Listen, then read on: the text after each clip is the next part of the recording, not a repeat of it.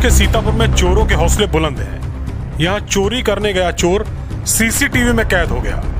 मामला रेवसा इलाके का है। पुलिस को मामले की जानकारी दे दी गई है। कार्रवाई भी की जा रही है। पीड़ित शख्स आशुतोष सिंह का कहना है कि चोर उसके घर चोरी करने की नीयत से घुसे थे।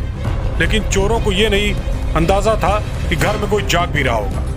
रात करीब साढ़े बारह बजे आशुतोष ने सीसीटीवी देखा तो वो अनजान शख्स उनकी बाउंड्री में घूम रहा था। टोकने पर वो भागने लगा।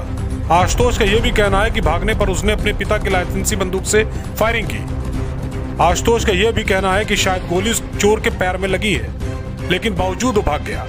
आशुतोष का यह भी कहना है कि रेउसा पुलिस को सीसीटीवी की शिकायती पत्र दे दिया गया है। जल्द कार्रवाई का आश्वासन मिला। कल रात में हम सोने के लिए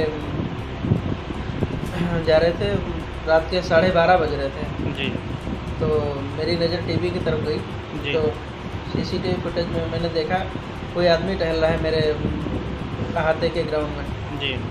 तो मैंने देखा वो आदमी संदिग्ध लग रहा था तो मैं मेरी बंदूक थी पिताजी की लाइसेंसी बंदूक। उसको लेके गया मैंने एक फायर किया।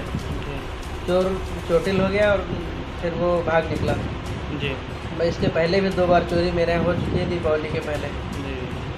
उसी के चक्कर में दोबारा फिर वो आया था लेकिन इस बार सीसीटीवी कैमरा लगा होने की वजह से सारा कुछ पता चल गया। चोर का भी जो है लगभग पता लग रहा है। घर पे आए क्या आश्वासन देकर गई है आपको? पुलिस जाँच का आश्वासन देकर गई है। जाँच कर रही थी घर पे आई थी रेउसा से Sachin Saxena bureau report Star News.